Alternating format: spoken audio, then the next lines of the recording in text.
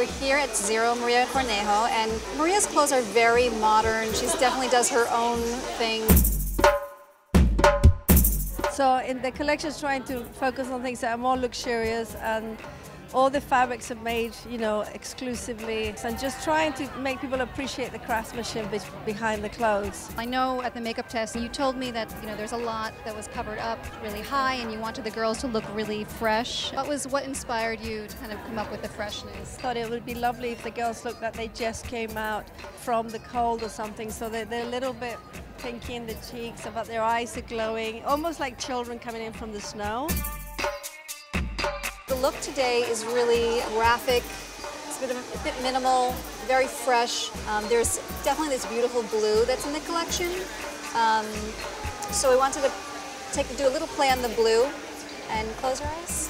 So the blue is kind of this straight line, and we made it a little bit blocky. And the cheek is these two amazing um, cream glows called Mystere and Patrice, and these are gorgeous. This is new packaging, new formulations from Kevyn Aucoin. As a woman, you could throw this in your purse and use this on your lips and use a little on your cheeks, and it's just a great, it has a mirror, it's just a great, um, beautiful textured cream blush. So we wanted to go for this kind of winter, fresh winter, dewy, flushed face. You know, we use a combination of, you know, either his sensual skin enhancer or airbrush foundation or tinted balms depending on their skin. Aline has gorgeous skin, so we really just use a little bit of concealer around the redness, like where she needed it. And we prep the skin with Joanna Vargas's rejuvenating serum. Again, I can't say enough about that serum.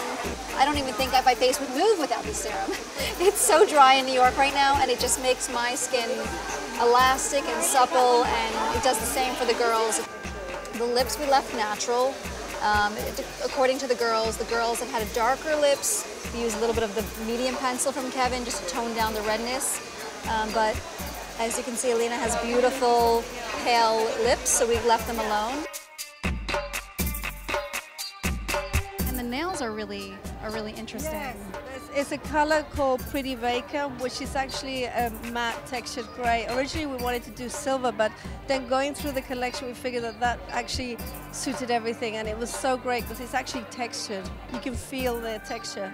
Yeah, so it's almost like stucco. It's really cool. Yeah. The great thing right now is not only is color in, but texture is also in. People are playing with different dimensions. Um, smooth, incredibly smooth silks, but even really this grainy texture that's uneven, and it allows people to play in the nail art space who don't know how to do nail art. This comes out of the bottle with that texture. So don't be fooled by it. You don't have to learn how to do anything special. If you can apply polish, you can apply this and the hair was is really beautiful, kind of graphic and simple. Yeah, Martin Cullen's doing the hair. He's doing these beautiful partings. And basically what we wanted to do with the hair was we wanted something really simple. There's lots of layering, there's lots of high collars and things like that. So we didn't want anything too fancy that was going to get in the way or, you know, disturb. So what we decided was a ponytail would be too boring, just a normal ponytail. So what we've gone for is a very strong part which you can see on this beautiful young lady here, just to give us something very graphic and very, very strong impact-wise. Um, as far as products are concerned, what we've done is just use something to blow dry with, Phyto Volume Active, We've used the straightening irons to, just to give it control, take some of the body away and just give it, not straighten it, straighten it so it's got nothing left, but just to, to take any static and, and, frizzy bits away, and, but still keep some volume and body to it, okay? So just over the surface. T3 straightening irons, yes, which are really good. I mean, they heat up so quickly, it's unbelievable. And we're just going to use the Phyto Release just to give it some nice shine and, and control afterwards, okay? Just to get rid of any little statics, just to give, so that'll really pick up in the light when we go out there, and it's just going to make it really, really shine, really, really, almost like it's got a, a glass finish to it.